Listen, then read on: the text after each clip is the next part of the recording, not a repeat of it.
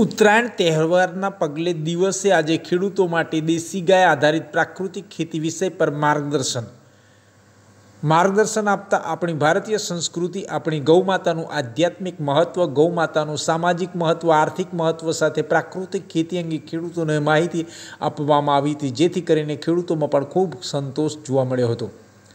આત્મા પ્રોજેક્ટ આણંદ દ્વારા ઉમરેઠ તાલુકાના રડી ગામે ઉમરેઠ તાલુકા પંચાયતના પ્રમુખ શ્રીમતી રંજનબેન પરમારના અધ્યક્ષસ્થાને દેશી ગાય આધારિત પ્રાકૃતિક ખેતી વિષય પર કિસાન ગોષ્ઠી કાર્યક્રમનું આયોજન કરવામાં આવ્યું હતું, જેમાં આપણી ભારતીય સંસ્કૃતિ મુજબ સૌપ્રથમ ગાયને તિલક કરી પૂજન કરવામાં આવ્યું હતું. ત્યારબાદ પ્રાકૃતિક ખેતી વિશે સમજ આપવામાં આવી હતી, જેમાં અરડી ગામના મોટા ભાગના ખેડૂતો તથા પશુપાલક મહિલાઓ પણ ઉપસ્થિત રહી હતી.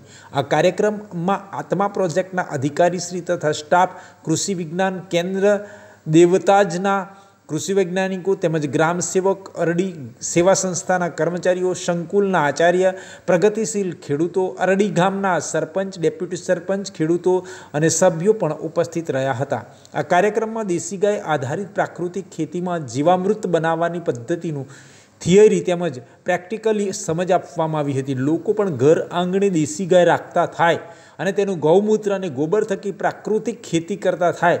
ખેતીનો માં જે ખેડૂતોને હાલમાં રાસાયણિક ખાતરોમાં જે ખર્ચ થાય છે તેનીમાં પણ ઘટાડો થશે અને આવક વધશે, બમણી થાય તેવો મુખ્ય આશય છે.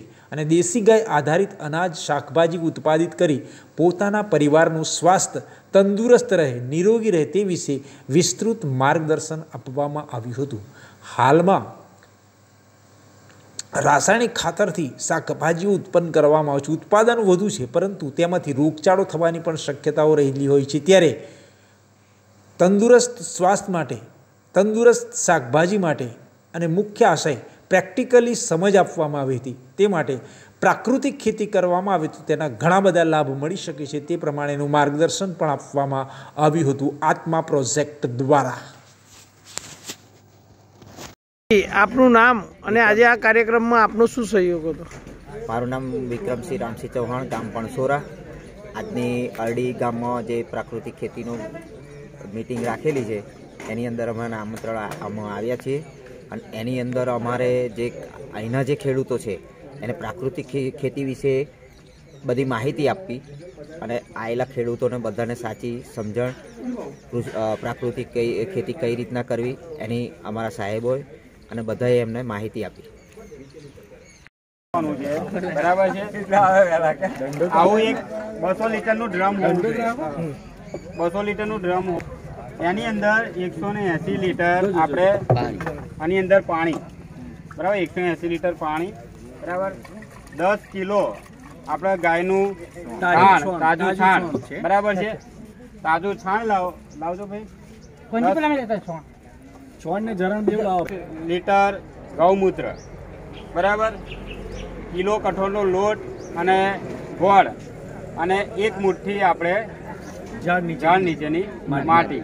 એ આપણે આની અંદર મિશ્ર કરીને આપણે ઘડિયાળની કાંટાના દિશામાં આપણે લાકડાથી હલાવવાનું છે. કિલો દેશી ગાયનું છાણ અંદર જવા દો ધીમે ધીમે.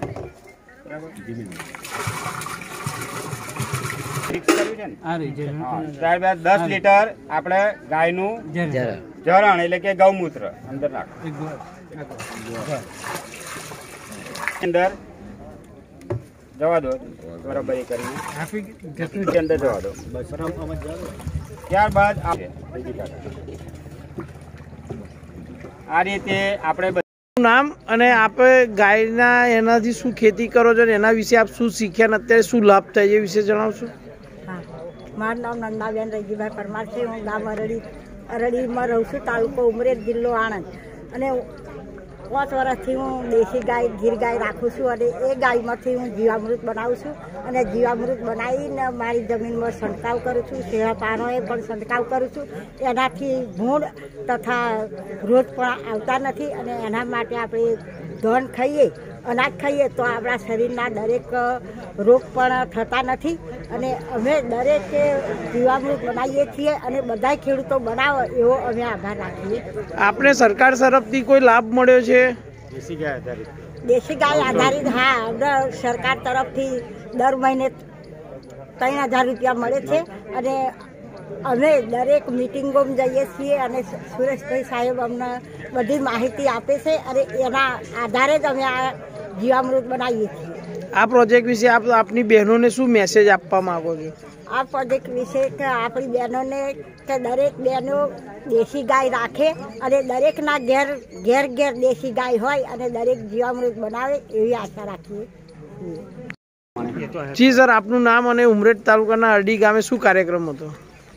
મારું નામ સુરેશભાઈ મહેરિયા છે. હું આત્મા પ્રોજેક્ટમાં ઉમરેઠ તાલુકામાં બ્લોક ટેકનોલોજી મેનેજર તરીકે ફરજ નિભાવું છું. અને આજે આપણે ઉત્તરાયણના આગલા દિવસ, એટલે કે તેરમી જાન્યુઆરીએ આજે આપણે અરડી ગામની અંદર આત્મા પ્રોજેક્ટ દ્વારા પ્રાકૃતિક ખેતી, એટલે કે દેશી ગાય આધારિત પ્રાકૃતિક ખેતી કરવા માટે ખેડૂતોની એક કિસાન ગોષ્ઠીનું આયોજન કર્યું હતું. અને આજે અત્યારે આપણા રાજ્યપાલ સાહેબ શ્રી કે ભાઈ દેશી ગાય આધારિત પ્રાકૃતિક ખેતી અને દરેક ગામની અંદર પંચોતેર ખેડૂતો પ્રાકૃતિક ખેતી કરતા થાય એ અભિયાન અંતર્ગત આજે આ એક કાર્યક્રમ રાખવામાં આવ્યો હતો. એમાં મોટી સંખ્યામાં ખેડૂતો હતા. ઘણા ખેડૂતો દેશી ગાય રાખતા હતા એ બધા છે અને અહીંયા આપણે દેશી ગાય આધારિત પ્રેક્ટિકલી જીવામૃત કઈ રીતે બનાવવું એની પણ અહીંયા ટ્રેનિંગ આપી તથા દેશી ગાય આધારિત પાંચે પાંચ આયામ જે છે એના વિશે વિસ્તૃત માહિતી આપી ઘણા ખેડૂતો હતા. અને મુખ્ય છે આપણી દેશી ગાય એ આપણી વિશ્વની માતા છે, આપણી ભારતીય સંસ્કૃતિ છે.